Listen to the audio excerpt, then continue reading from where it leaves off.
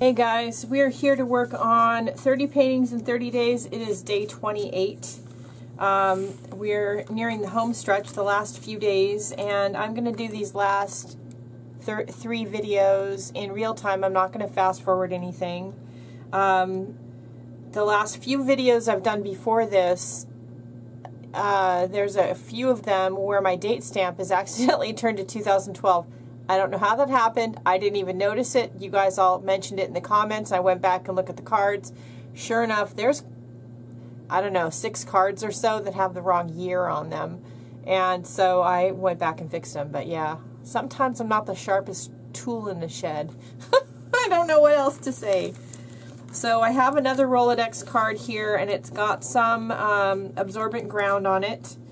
And I'm wanting to practice some more of the painty techniques um, from Jean Haines' book um, that I've been, and I've been doing some of them on some of the cards.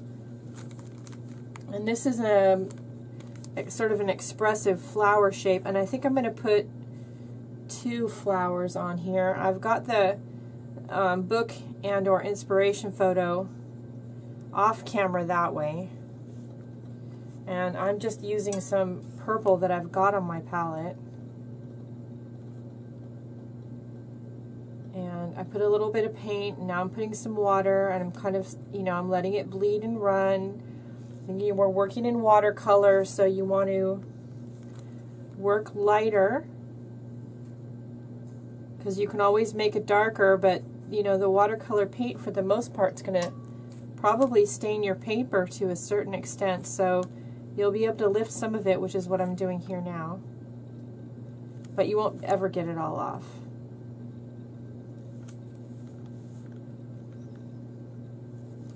And there's there's lots of ways to lift. You can also, you know, sort of just do that.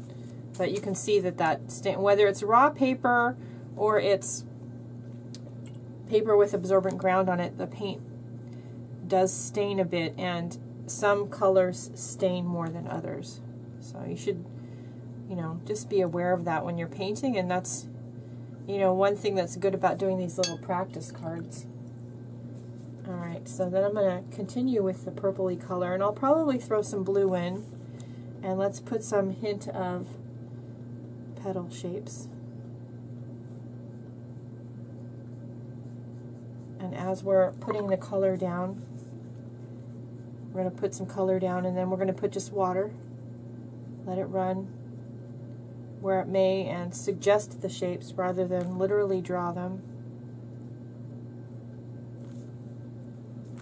I love this style of suggestive painting with acrylic. So I'm not surprised at all that I also love it in watercolor. So don't be afraid to throw the hint of the unexpected in there and like for instance, I think I want to toss a little bit of blue in, and I've got some blue on my palette over here that I, you know, kind of mixed up from another painting. So I'll, instead of wasting it and wiping it off with baby wipe, I'll use it.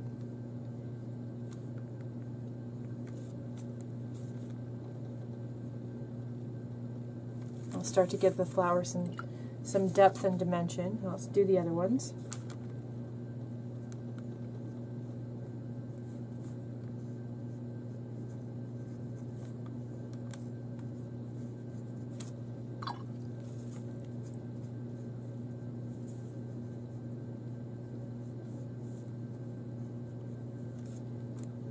Wrong color. Oops, I almost dipped in the blue. Okay, so now, now we'll go in the blue.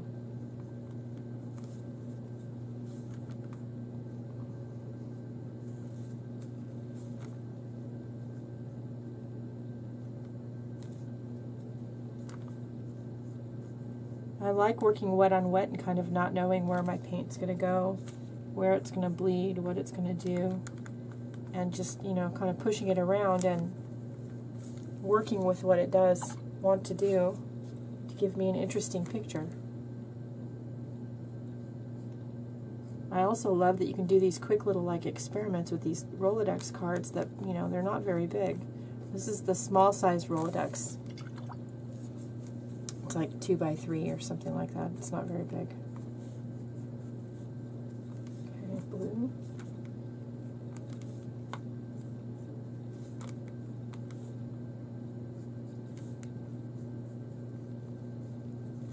Okay, I like that. I want to add some darker purple tones. So I'm going to take my violet here straight from my dried blob of violet.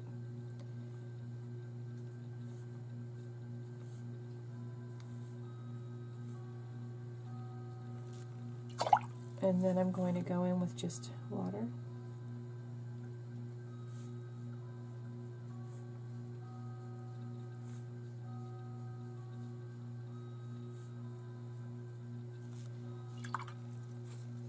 That actually is a lot of purple for me, and I'm okay with that mostly, but I think that, I want to see if I can blot some of that up. Okay, that's better.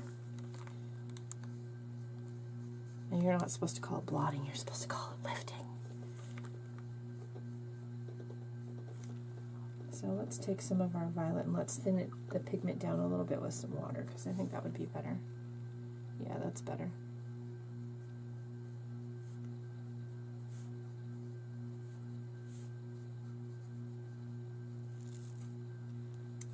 Going to go in with some Prussian blue while the violet's still wet.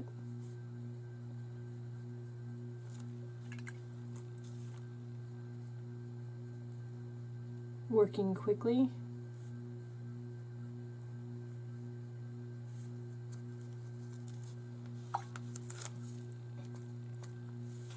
Just that's just splattering on some just plain water right, let's work on the other ones.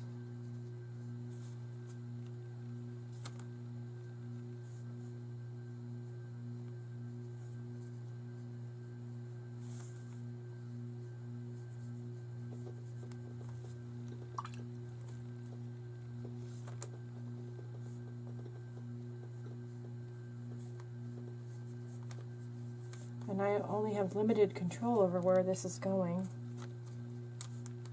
Really just laying down colors in a hopefully suggestive way.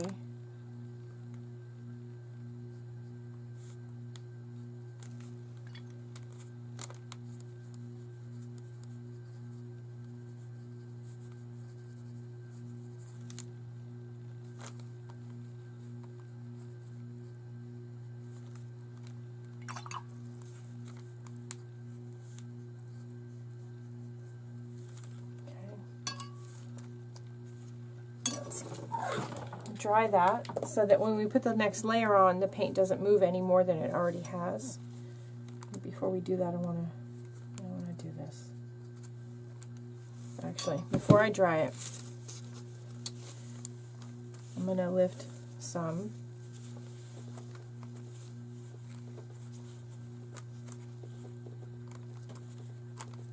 so that we get some lighter and darker tones. Keeping in mind that when this paint dries, it's going to dry lighter. Okay, now let's dry it.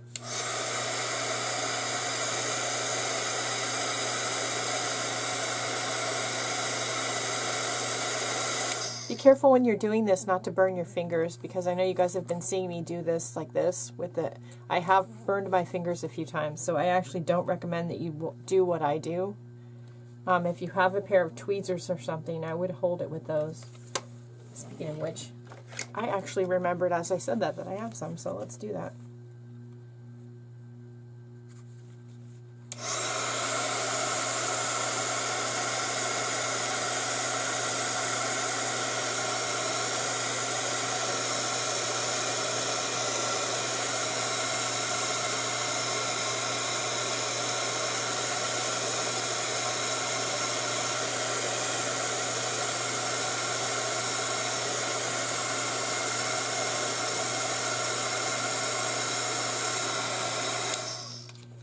Okay, you have colors that suggest lightness and brightness and warmth or temperature. Your blues and your violets for the most part are cool colors.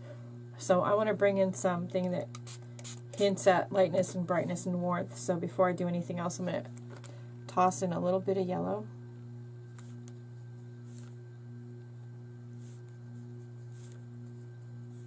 And then I'm going to just spread it around a bit with just some water.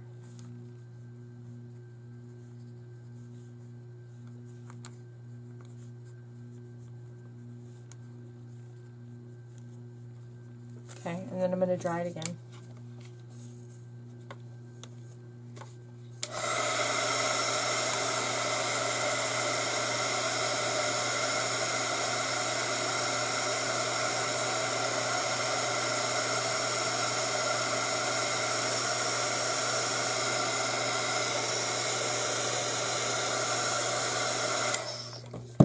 Now I want to bring in another warm color.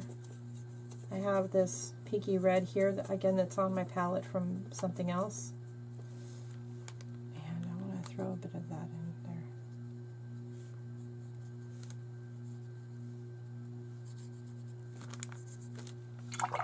And then some water.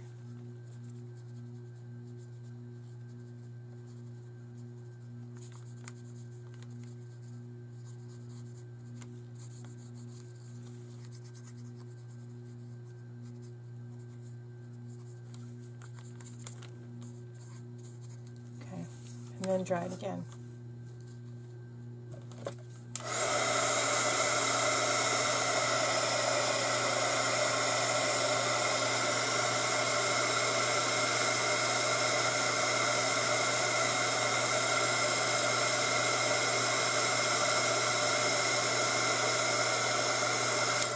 Okay, this is where we're going to really make it look like something, and we're going to switch to a detail brush.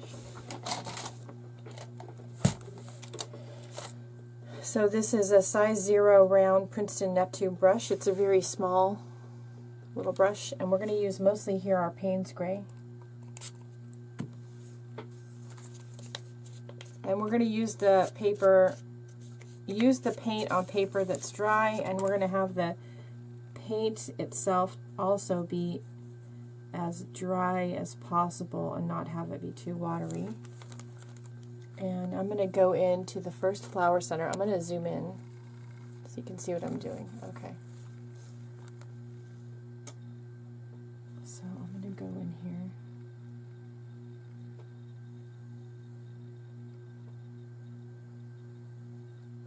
First and outline the center and then I'm going to go in with some water.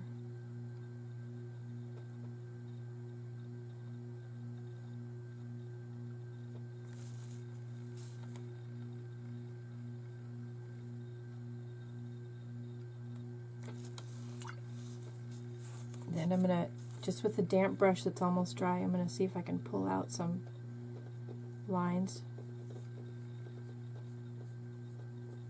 You want to work quickly while this Payne's Gray is still wet. Yeah. Then I'm going to go in with some paint. And I'm going to do a few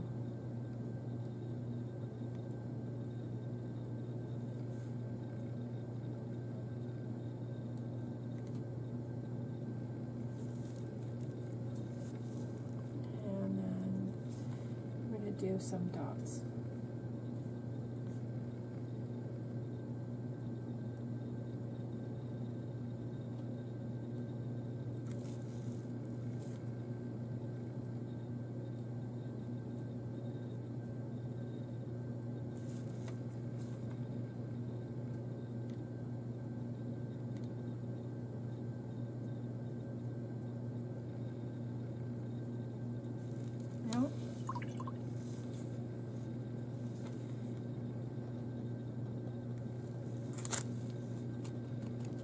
Just put a blob of kind of watery Payne's Gray on there. I'm just going to tap it and force it to run a little bit. There we go.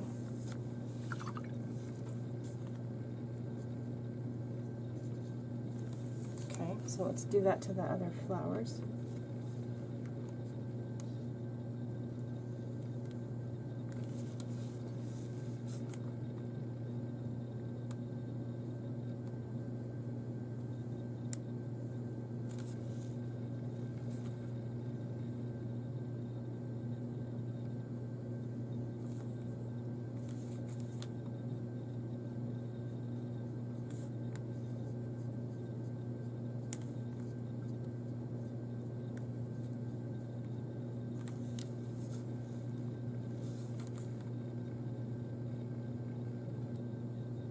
Just try to barely touch your brush to the paper.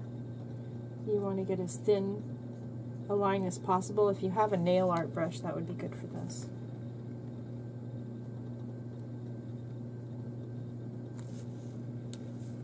And I have one, I just thought I'd try it with this.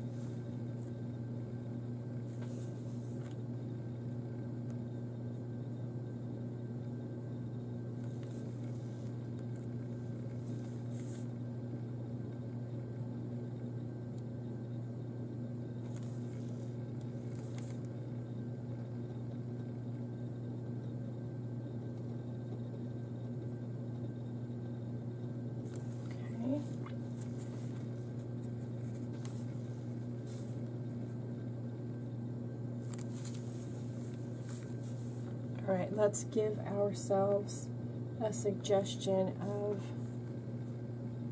some lines here.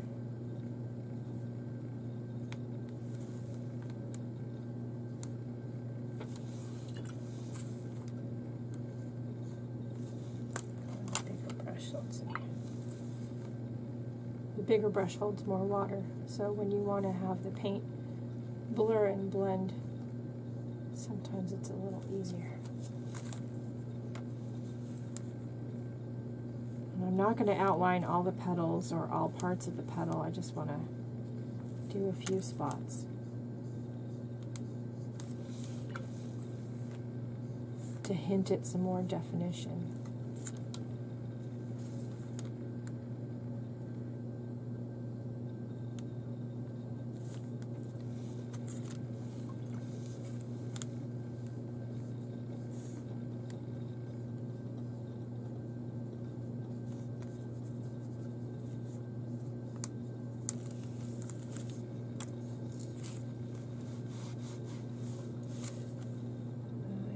go in with some more purple.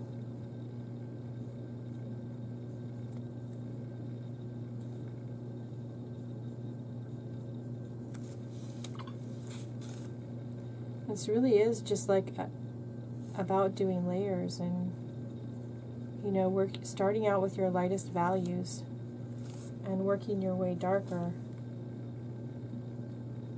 You can do it with watercolor but it is different than you do it with acrylic paint.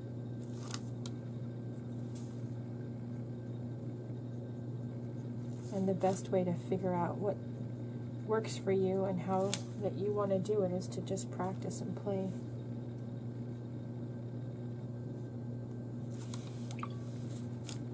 And these a little a challenge like these little cards is good for this.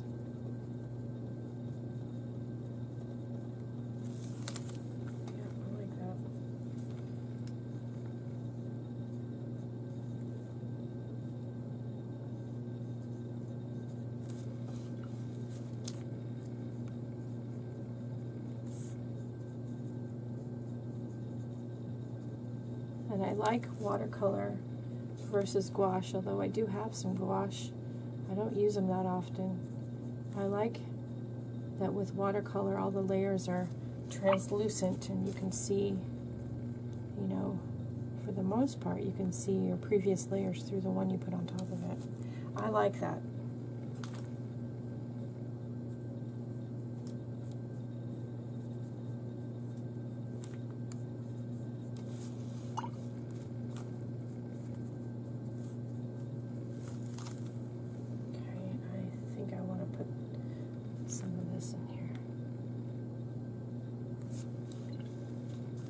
a little bit here and there. This is that Prussian blue. It's very a very turquoisey color. It's kind of, again, it's a pop of the unexpected.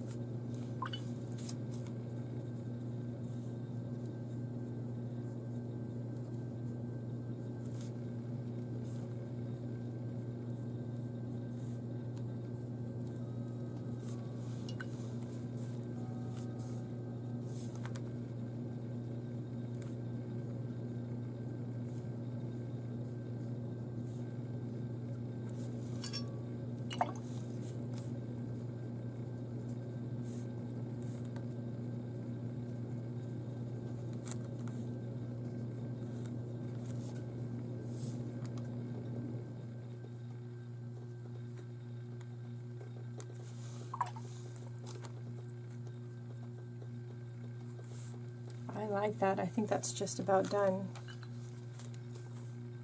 I might want to lift a little bit here. Let's see. So I just have my damp brush. It doesn't have any paint on it.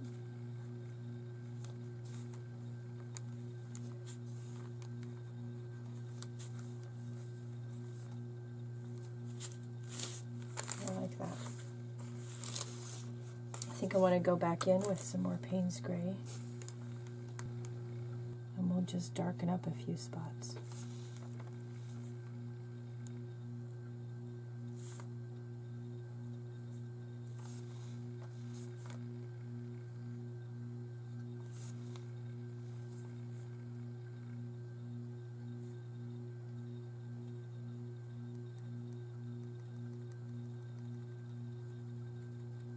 I'm just tapping the brush down onto the paper.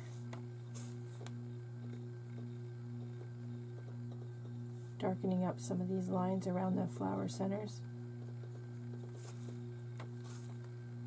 And then just tapping, tapping, tapping.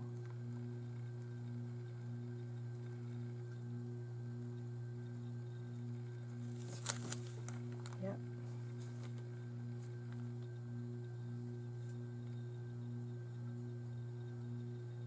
Just remember when you um, are working with your watercolors and you're practicing that you can always add more color. You just you can't really take it away.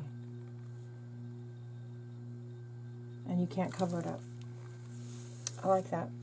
We're going to call that one done. That was a fun one.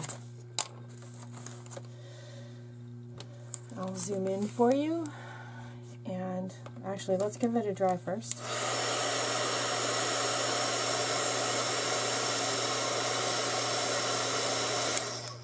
Or at least mostly dry.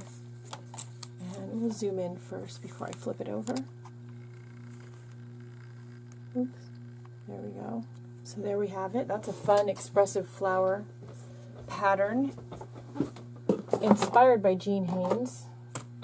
And we will stamp it, and this time we will try to make sure our stamp actually says 2015 on it. Hello.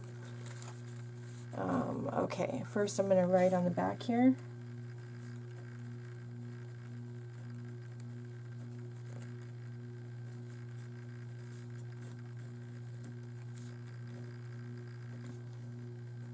28th of June. Already, the, the year is just flying by. And let's see. And yes, it says 2015. Hello. There we go. June 28th, 2015. This is the 30 and 30 day challenge. This is number 28. There you have it. I hope it gave you some ideas of what you can do.